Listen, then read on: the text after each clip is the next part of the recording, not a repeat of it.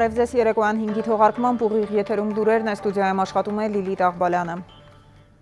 Պատերազմի հետևանքով հաշմանդամություն ձեռք բերած զին ծառայողները ամսական կստանան 300 հազար դրամ աջակցություն։ Կառավարությունը հաստատել է սեպտեմբերի 27-ին սանձազերծված ռազմական գործողությունների հետևանքով վնասված կամ խեղում ստացած զին ծառայողների աջակցության միջոցառումը։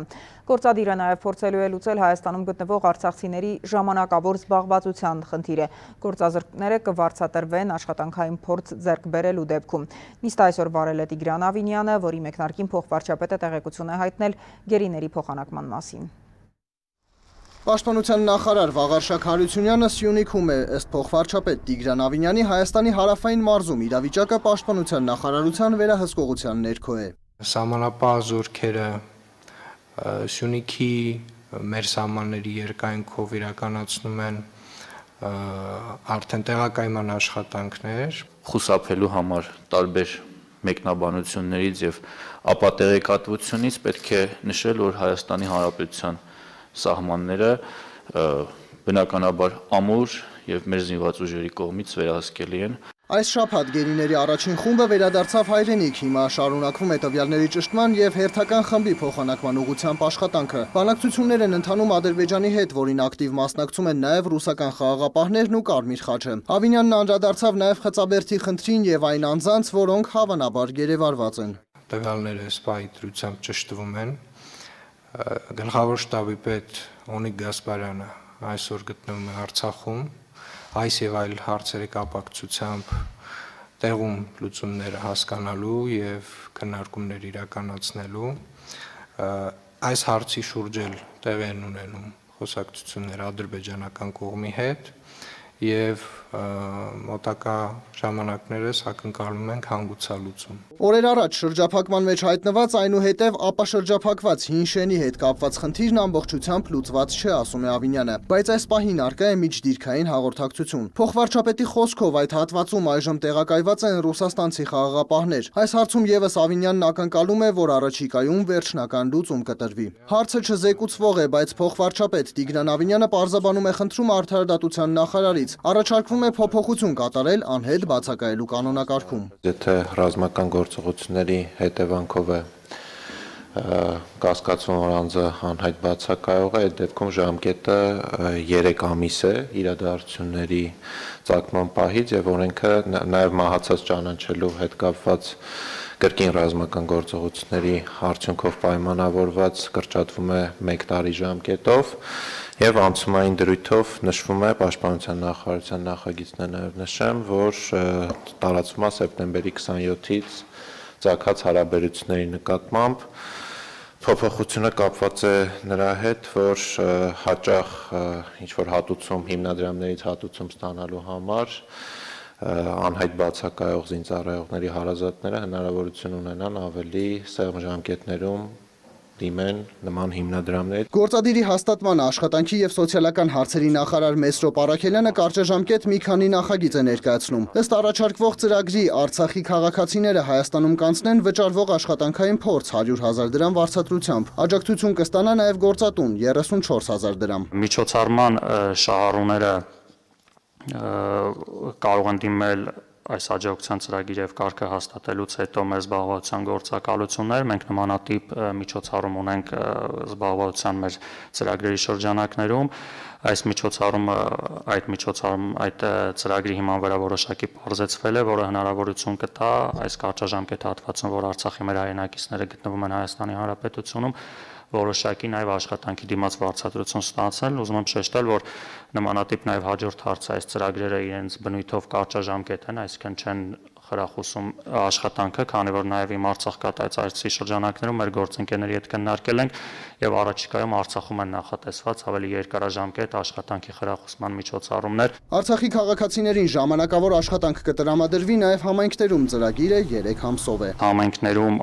տեղի ունեցող փոքր աշխատանքները, որոնք չեն գերազանցում միջև 2 միլիոն դրամը, համագործակցում է նախարարությունը համայնքների հետ։ Նման միջոցառումներում ներգրավում են հիմնականում գյուղաբնակ համայնք համայնքների բնակիչները, որոնք վարձատրվում են նման օժանդակ աշխատանքներ կատարելու համար մեկ աշխատանքային օրվա համար 8000 դրամի չափով։ Արաքելյանն առաջարկում է նաև աջակցել պատերազմի հետևանքով վիրավորված այն քաղաքացիներին, որոնք դեռևս չունեն հաշմանդամության կարգ, բայց վիրավորումից ակնհայտ է, որ այդ խմբի շահառու են։ Միջև հաշմանդամության խմբի ստացումը դրանք հնարավորություն են ունենում հիմնադրամի կողմից ստանալ աջակցություն առավելագույնը 6 ամիս ժամկետով։ Այս պահին հիմնադրամը նման գործառույթ ունի, յուրաքանչյուր ամիս իրականացնում է աջակցության տրամադրում 100.000 դրամի չափով, համաձայն միջոցառման առաջարկվում է այդ գումարը ավելացնել եւս 200.000 դրամով պետբյուջեի միջոցներով եւ միջև 6 ամիս ժամկետով այդ քաղաքացիները հնարավորություն կունենան ստանալ 300.000 դրամ աջակցություն, մինչև հիմնադրամի հիմնական շահառու դառնալը եւ օրենքով սահմանված հատուցումները ստանալը։ Սոցիալական եւս մեկ ծրագիր ներկայացվեց, որով աջակցություն կստանան արցախցիներին ապաստան տված քաղաքացիները։ Հայաստանում յուրաքանչյուր չափահաս արցախցու համար հյուրընկալը կստանա 30000 դրամ, իսկ Արցախում ապաստան տալու համար 45000 դրամ։ Արդյոք աջակցության ծրագրերի վերաբերյալ իրազեկումը պատշաճ է իրականացվում, հարցնում է Ավինյանը։ Նախարարը թվերով է պատասխանում։ Այս պահին արդեն ունենք երկու ընթացքի մեջ միջոցառում, մեկը Արցախի հաշվառում ունեցած քաղաքացիներին 68000 դրամական աջակցությունը այս պայն արդեն 90000 հոգի դիմել է աջակցության եւ մոտավորապես 85000-ի մասով ունենք հաստատված որոշումներ եւ ցանոթություններ, որ ստացել են, մոտ 60000 քաղաքացի արդեն փաստացի ստացել է գումարները, մնացած գումարների ստացումը ընթացքի մեջ է եւ Արցախում եւ Հայաստանում Հայփոստի եւ Արցախ փոստի միջոցով ստանում են։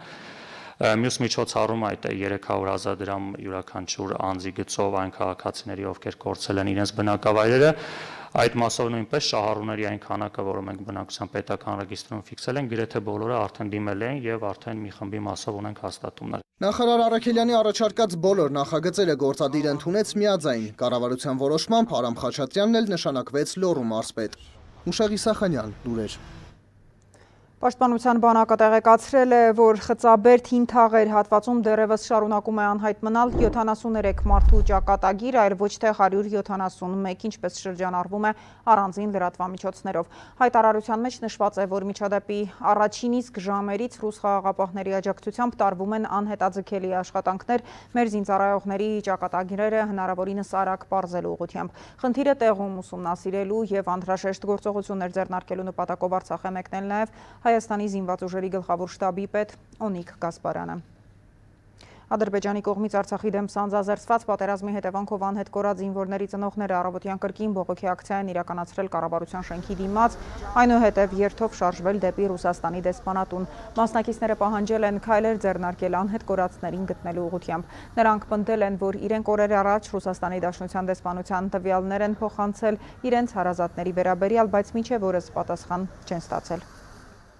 Պետքա որ այսօր ռուսը գործողություն անի, պայմանագիր ունեն կապած, թող պայմանագիրը պահեն կետերով։ Այսօր մենք պահանջողի դերում ենք, պահանջողի դերում։ Մենք պահանջում ենք ամեն մի վարկյան շուտ մեր երեխեքին բերեն տան մեզ։ Այսինքն մենք կռիվ չենք անում, մենք կռվողներ չենք, մենք պահանջողներ ենք։ Մեզի ոչ ոք չի կարա սադրի։ Առաջինը բերեք մեր երեխեքի մասին մտածենք որ այսօր երեխեքը գտնվում են գերության մեջ ու չգիտենք որտեն իրանք թող այդ աթորի կռիվը չանեն, օգնեն մեզի, մեր երեխեքին բերենք։ Հետո որ որ այսօր ուզում աթորի կռիվ անում, այլ թող այդ մի հատ առաջինը Թուրքիա այդ կռիվ անի, մեր երեխեքին բերի, չէ որ գա այսօր իրանց պատճառով Թուրքիա աս ուրախանումա չի տալիս մեր երեխեքին։ Կապան համայնքի ղեկավար Գևորգ Փարսյանը Armen Press-ի հետ զրույցում ասել է, որ մինչև վաղը ժամը 17-ը պետք է ազատեն իրենց ուղությամբ դիրքերը։ Փարսյանը պարզաբանել է, որ խոսքային տարածքների մասին է, որ զբաղեցվել է մինչև նոյեմբերի 9-ը անվտանգության գոտու ապահովման համար։ Նրա խոսքով կրկին ահազանգում են անվտանգության հետ կապված։ Փաստորեն Կապանից երկու ուղությամբ գյուղեր տանող ճանապարհների որոշ հատվածներ ընկնում են թշնամու տարածք։ Ստացվում է սահմանը Կապանի բնակելի հատվածից 1 կիլոմետր կիլոմետր հեռավորության վրա է մոտ 200 մետր է հեռու օթանավականից Կապան քաղաքի արտադրական հատվածից։ Ըստ քաղաքապետի այս վիճակը կարող է առաջացնել ներդրումների, նաև զբոսաշրջության խնդիր։ Կապանցիներն ու քաջարանցիները այսօր փակել են M2 մայրուղին բողոքի ձայն բարձրացնելու այս հարցերի հետ կապված։ Գևորգ Փարսյանը նշել է, որ այն դեռ շարունակում է փակ մնալ։ Ռուսաստանի Դաշնության նախագահ Վլադիմիր Պուտինի ասուլիսը ձգվում է արդեն 4 ժամ այն արցանց է կորոնավիրուսի պատճառով։ Ներքին եւ արտաքին հարցերից զատ Պուտինը անդրադարձել է նաեւ Լեռնային Ղարաբաղի խնդրին, ինչու հենց հիմա եւ այդքան կտրուկ թեժացավ երկարամյա հակամարտությունը։ Արդյոք պատերազմը հրահրվել է եւ որն է Թուրքիայի դերը։ Արդյոք Թուրքիայի եւ Ռուսաստանի շահերը բախվում են տարածաշրջանում։ Լրագրողը հարցրել է նաեւ հրադադարի խախտման եւ խաղաղապահների թվի ավելացման մասին։ Почему именно сейчас это произошло? Ну, ситуация вышла из-под контроля Ինչու հենց հիմա տեղի ունեցավ։ Դե իրավիճակը դուրս եկավ վերահսկողությունից։ Այդ լարվածությունը ձգվում էր տարիներ։ Չեմ կարծում, թե արտաքին միջամտություն կար, չէ որ բազմիցս կրակոցներ, փոքր բախումներ էին եղել։ Վերջում դա վերածվեց մեծ բախման։ Ռուսաստանի Դաշնությունը հաճախ է ասել, որ մենք առանց որևէ արյունահեղության պետք է գանք պայմանավորվածությունների կատարմանը։ Այդ դիրքորոշումը ունեցել ենք նաև Մինսկի խմբում։ Տարիներ շարունակ մենք ելնում ենք նրանից, որ Ադրբեջանին պետք է վերադարձվեն 7 հարակից շրջանները, որ Լեռնային Ղարաբաղի կարգավիճակը պետք է անփոփոխ մնա եւ լուծվի հետագայում։ Պետք է ֆիքսել ստատուս քվոն, բայց Հայաստանի եւ Լեռնային Ղարաբաղի միջև շփման պայմանների հնարավորության ստեղծմամբ, ինչի համար ենթադրվում էր ստեղծել այսպես կոչված Լաչինի միջանցքը։ Բարդ բան չկար այստեղ։ Թուրքիան, ինչպես հրապարակվել է, աջակցում է Ադրբեջանին 90-ականների գրավված տարածքները վերադարձնելու հարցում։ Միջազգային իրավունքի տեսանկյունից այդ բոլոր տարածքները Ադրբեջանի անկախտելի մասն են։ Նորից կրկնեմ, Հայաստանի Հանրապետությունը Հանրապետությունն էլ Լեռնային Ղարաբաղի անկախությունը չի ճանաչել։ Դրա համար միջազգային իրավունքի տեսանկյունից Լեռնային Ղարաբաղը Ադրբեջանի մաս է, բայց իմ կարծիքով իրավիճակը ավելի բարդ է, քան հասարակ նորմատիվները, այդ թվում միջազգային։ Արմատները էթնիկական են, որ սկսվեց Սումգայիթում։ Корни э, в э, этническом конфликте, который начался еще в Сумгаите, а потом перекинулся в Нагорный Карабах. Ղարաբաղի հայերը ստիպված եղան զենք վերցնել, որ պաշտպանեն իրենց կյանքն ու արժանապատվությունը։ Յուրաքանչյուր կողմը իր ճիշտը ունի։ Մենք երակողմ հայտարարությամբ պայմանավորվել ենք հրադադարի մասին եւ ամենակարևորը, որ կողմերը պետք է մնան այն դիրքերում, որում եղել են ստորագրման օրը։ Դրա հետ կապված շատ են տեխնիկական հարցերը, բայց դա պետք է հանգիստ լուծել, բանակցելով։ Հաջորդ փուլում հարաբերությունների բացարձակ կարգավորում պետք է լինի, այդ թվում ավտոմոբիլային հաղորդակցություն սկսելով։ Դա նաև վերաբերում է Նախիջևանին։ Договорились о том, что стороны Սյունիքի սահմանի որոշ հատվածներում կտեղակայվեն ռուս սահմանապահներ պաշտպանության նախարար Վաղարշակ Հարությունյանը Սյունիքում աշխատանքային խորհրդակցություն է անցկացրել Սորամիավորման հրամանատարի Սյունիքի մարզպետի եւ ազգային անվտանգության ծառայության սահմանապահ զորքերի տարածքային ստորաբաժանման հրամանատարի մասնակցությամբ։ Վաղարշակ Հարությունյանը հանդիպել է նաեւ Ռուսաստանի Դաշնության խաղաղապահ զորախմբի սպաների հետ, անդրադարձել Գորի Ստեփանակերտ ճանապարհի հսկողությանը, Հայաստանի, Ադրբեջանի հետ սահմանի Սյունիքի հատվածում ռուս սահմանապահների տեղակայման ծրագրին, ինչպես նաեւ պատերազմի պատերազմի հետևանքով անհայտ կորած անձանց որոնողական աշխատանքներին եւ առաջիկա անելիքներին։ Նախագահ Հարմեն Սարգսյանի աջակցությամբ կլուծվեն ավելի քան 170 հադրուցու կեցության եւ սննդի հարցը։ Նրանք ժամանակավոր կապրեն հյուրանոցներում։ Աջակցությունը կտրամադրեն Հանրապետության նախագահի աշխատակազմը, Հայաստան համահայկական հիմնադրամը եւ Երևան իմսեր հիմնադրամը։ Այսօր նախագահի աշխատակազմի ղեկավար Էմիլ Տարասյանը աշխատանքային քննարկում է ունեցել տեղահանված հադրուցիների շահերը պաշտպանող հասարակական կազմակերպության ներկայացուցիչի հետ։ Արցախից հարկադիր տեղահանվածների եւ պատերազմի մասնակիցների համար Հայաստանի 130 բուժհաստատությունում բուժումը անվճար է։ Խոսքը վերաբերում է բոլոր տեսակի բուժծառայություններին։ Եթե սպասարկվող անձը զինվորական է, հիվանդանոց է ուղեգրվում պաշտպանության նախարարությունից, իսկ քաղաքացիական անձանց ուղեգիր են տրամադրելու պոլիկլինիկաները։ Քանի դեռ հիվանդներն ամբողջությամբ չեն առողջացել Հասմիկ Երևանդովնայի համար, հիվանդանոցից այն կողմ կյանքը կանգ է առած։ Լույսը դեռ չբացված արդեն հիվանդանոցում է, տուն է վերադառնում կեսգիշերին մոտ։ Երբերեբունիում դեռ քովիդ բաժանմունք էր գործում, բժշկուհին շատ անգամ նույնիսկ գիշերել է այստեղ։ Հիմա էլ ծնողի հոգատարությամբ ու իրեն հատուկ պրոֆեսիոնալիզմով մասնակցում է պատերազմի ժամանակ վիրավորում ստացած զինվորների բուժմանը։ Ու զինվորների նկատմամբ բնականաբար մի քիչ այլ վերաբերմունք ունենք մենք։ Վիրավոր զինծառայողների թվում ի դեպ քիչ չեն նաև քովիդով վարակվածները, ինչն իր հերթին կրկնապատկում է զինվորի բուժման ու խնամքի գործընթացը։ Այս ամենին գումարվում են նաև պատերազմի հետևանքով առաջացած հոգեբանական խնդիրները։ Իրանք ունեն այդ հոգեբանական լարվածությունը եւ այլն, դա մի քիչ ավելի շատ հոգեբանների գործն է, թեպետ բոլորս էլ կարծես հոգեբաններ ենք դարձել արդեն իրենց հետ կապած, մի քիչ աշխատում ենք հետները։ Զինվորը հոգեբանի կարիք ունենա վիրահատության թե այլ ծառայությունների պետության կողմից երաշխավորված ծրագրով բուժօգնությունն անվճար պետք է ստանա։ Հայաստանի մարզերի ու Երևանի 130 մասնավոր ու պետական բուժհաստատության հետ առողջապահության նախարարությունը պայմանագիր է կնքել։ Նախատեսվում է առողջության առաջնային պահպանման ծառայությունների մատուցում, հատուկ եւ դժվարամատչելի ախտորոշիչ հետազոտությունների իրականացում, հիվանդանոցային բուժօգնություն, այո, այդ թվում ԿՏ, MRT,